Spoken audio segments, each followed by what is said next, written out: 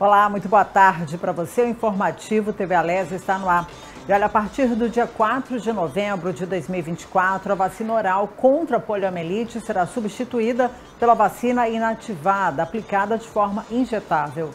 No esquema vacinal anterior, eram necessárias três doses e dois reforços para a imunização. Com a substituição, serão aplicadas três doses e apenas um reforço. O Ministério da Saúde informou que no período de 30 de setembro a 31 de outubro não serão aplicadas a dose de reforço. Em Sergipe, o último dia de aplicação da polio oral será no próximo sábado, dia 28 de setembro. A vacinação é a única forma de prevenção contra esta doença.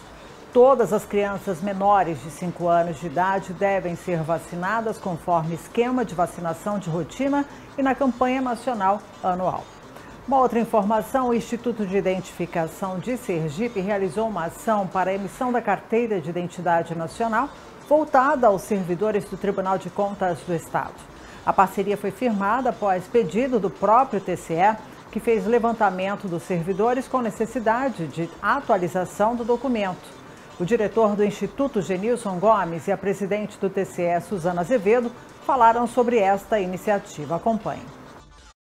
O Tribunal de Contas solicitou à Secretaria de Segurança e Dr. João Eloy de imediato determinou a nossa participação no Instituto de Identificação numa ação de cidadania no Tribunal, que durante esses três dias de atendimento, das 7 às 17, foi possível proporcionar é, mais de 800 atendimentos entre servidores e familiares.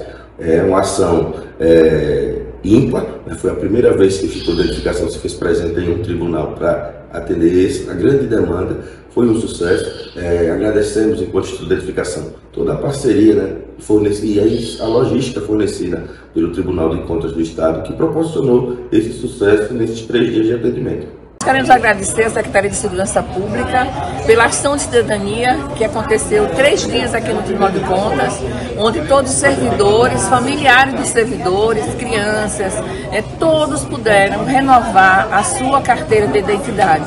E isso fez com que os nossos servidores eles ficassem muito felizes porque com muita maior praticidade, né, em vez de ir para lá, para a Secretaria de Segurança Pública, eles puderam fazer essa renovação aqui mesmo no seu local de trabalho. Então, gostaria de agradecer ao secretário João Eloy, ao nosso diretor do Instituto de Identificação, doutor Genilson, né, que realmente se colocaram completamente à disposição do tribunal para fazer a ação de cidadania das identidades de todos aqueles que fazem a Corte dos Sergipanos.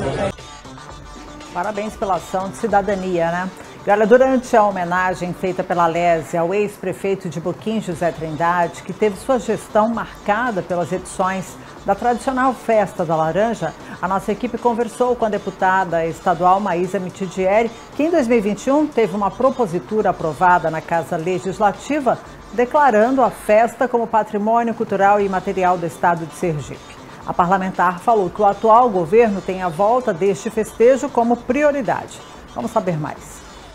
A Festa Laranja, ela discute a silvicultura, ela discute a agricultura de forma geral, ela traz cursos, traz seminários, enfim.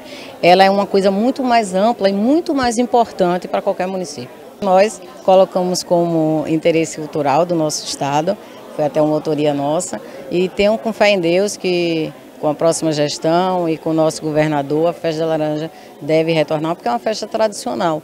É uma festa tradicional já de Buquinha há muitos anos. Eu cresci com a festa da laranja e é uma pena que nessa última gestão ela tenha sido esquecida. Nosso governador ele está com esse olhar para a nossa citricultura que é daquela região e tenho certeza que nós vamos é, voltar aos velhos tempos, no tempo de Zé Trindade, onde ele realmente lutava pela citricultura e a gente tinha o um movimento.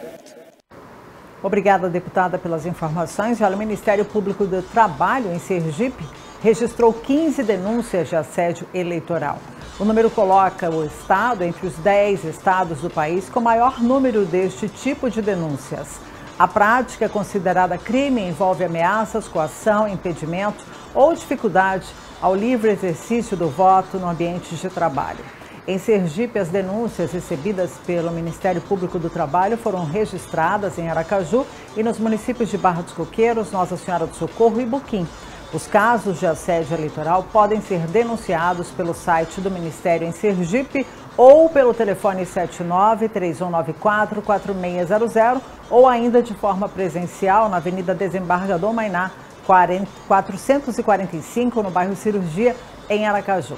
O informativo TV Alese fica por aqui. Outras notícias você acompanha daqui a pouco no boletim da Agência de Notícias Alese e às 18 horas no Jornal da Alese. Siga também as nossas redes sociais. Muito obrigada pela companhia e até nosso próximo encontro daqui a pouquinho. Espero todos vocês. Até já.